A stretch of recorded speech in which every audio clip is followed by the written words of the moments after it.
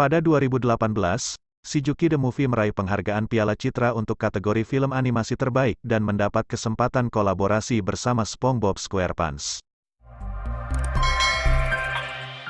Selain film laga, Indonesia memproduksi sederet film animasi. Tak kalah hebat, film-film ini bahkan dikenal secara global. Sederet film animasi Indonesia yang mendunia ini tercatat pernah meraih beberapa penghargaan internasional yang cukup bergengsi. Tentu sederet film ini tak perlu diragukan lagi akan kualitasnya, berikut deret film animasi Indonesia yang mendunia. Bagian pertama 1. Candy Monster, 2020, animasi pendek Candy Monster merupakan karya UMN Pictures yang pernah tayang di Zelin Film Festival ke-60 di Ceko. Film animasi Candy Monster menceritakan tentang seorang anak bernama Chloe yang sangat menyukai permen. Tapi, sang nenek mempunyai aturan ketat yang harus dipatuhi olehnya. Suatu hari, Chloe mencoba melanggar peraturan, tapi, ternyata ia dihantui kawanan monster yang akan mencuri permen-permen miliknya. Menilik laman resmi UMN, Candy Monster diproduksi selama dua tahun dari 2017 sampai 2019 sebelum akhirnya lolos tayang di gelaran festival film.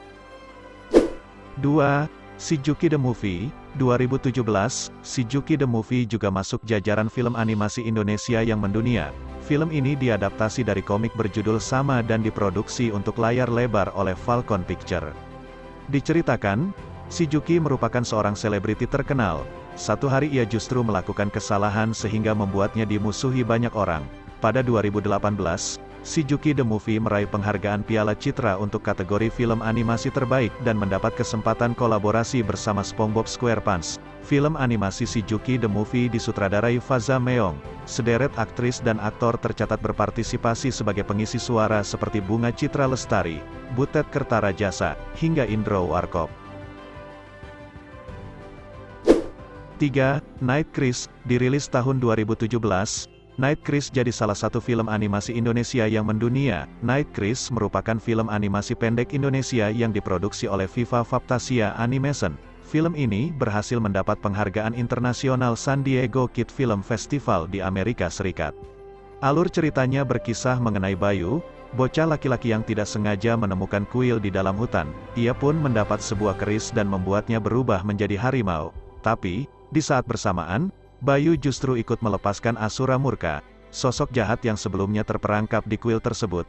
Animasi Night Chris disutradarai William Fajito dan Antonius, Deddy Corbuzier diketahui berpartisipasi sebagai pengisi suara film tersebut. 4. Kiko and Friends, sebagai salah satu film animasi Indonesia yang mendunia, Kiko and Friends pernah mendapat pengakuan di ajang Asian Academy Creative Award. Kiko and Friends produksi MNC Pictures pernah mendapat pengakuan di ajang Asian Academy Creative Award 2019. Film animasi Kiko and Friends bercerita tentang kehidupan hewan laut yang bermutasi. Mereka adalah Kiko, ikan koki, poli, ikan cupang, patino, ikan patin, dan ting-ting. Kepiting, dalam kesehariannya, Kiko dan teman-teman sering diganggu kawanan karkus, ikan lele, dan pupus. Belut, petualangan laut Kiko and Friends menghadirkan tema cerita berbeda-beda untuk setiap episodenya. 5. Kuku Rokyu Film animasi Kuku Rokyu disutradarai Ahmad Rofik dan diproduksi oleh DGM Animation Studio. Cerita dari film Kuku Rokyu mengenai kelompok ayam-ayam yang bercita-cita menjadi penyanyi rock. Akan tetapi, perjuangan ayam-ayam itu tidak mudah dan kerap dihadapi segala permasalahan. Kuku Rokyu masuk ke dalam film animasi Indonesia yang mendunia serta mendapat pengakuan di Japan Asia Grab sebelum ditayangkan di Indonesia.